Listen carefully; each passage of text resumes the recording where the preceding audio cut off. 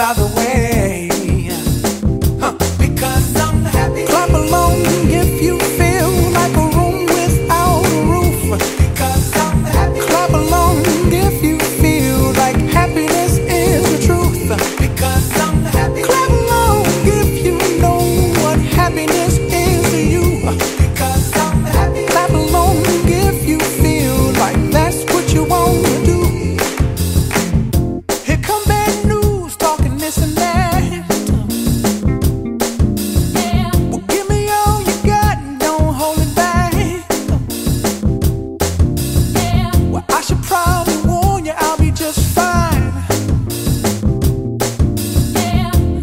happens to you, don't waste your time.